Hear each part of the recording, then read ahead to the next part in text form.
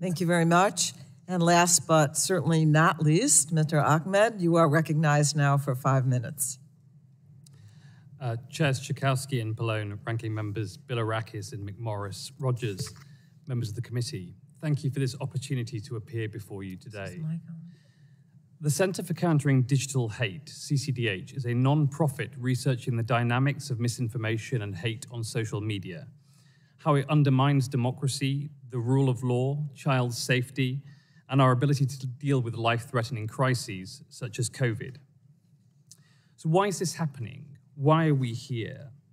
The ugly truth is, social media companies discovered prioritizing hate, misinformation, conflict, and anger is highly profitable.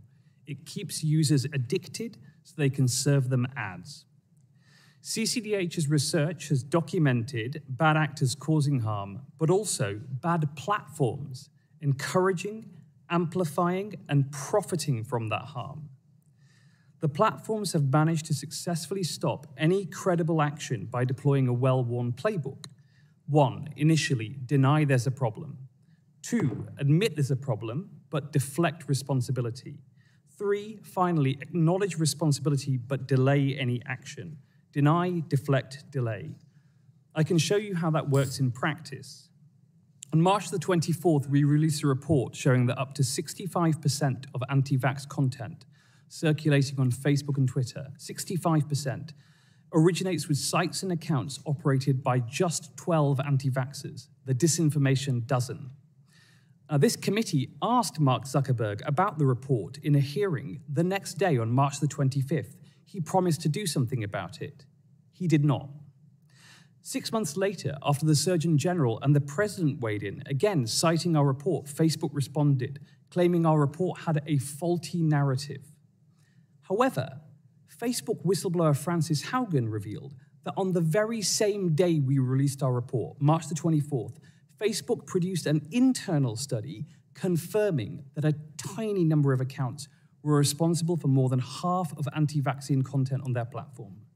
So they were lying while the American public was suffering under COVID and people were dying. The members of this committee have seen the same tactics from social media executives time and time again. You have correctly determined, as have legislators in the UK, Australia, Germany, and other allied nations, that social media companies cannot self regulate and that we need new legislation. There is no silver bullet, that's right. Section 230 shows the limitations to a single solution based on one core principle it did not predict nor deal with the harms we're now seeing emanating from social media. There will need to be a range of approaches to transparency and accountability to nudge social media into a place that balances dialogue, privacy, safety, and prosperity. The bills being considered today would collectively represent a big step forward to protecting children, families, society, and our democracies. The Kids Act would put real protections in place for our children. Transparency is an essential tool in countering online hate and lies. The Social Media Data Act, therefore, would give independent researchers the access needed to detect dangerous trends. Whistleblowers have leaked in internal documents illuminating wrongdoing by big tech providing new urgency to the reform debate. But whistleblowing is still profoundly risky for the whistleblower, which is why the incentives and protections provided by the FTC Whistleblower Act are critical.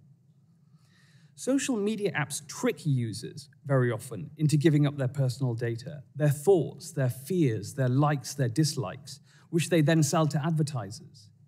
Big tech's big data is designed to exploit people not to serve them better. The Detour Act puts a stop to that destructive spiral. There are also two much needed bills to address the growing threat of hostile foreign actors who revel in the divisions that social media creates and exacerbates in democratic societies. In approving these bills, the committee would take a huge step forwards towards better regulation and give us hope that an internet that brings out the best in people is possible. Thank you very much. Thank you very much.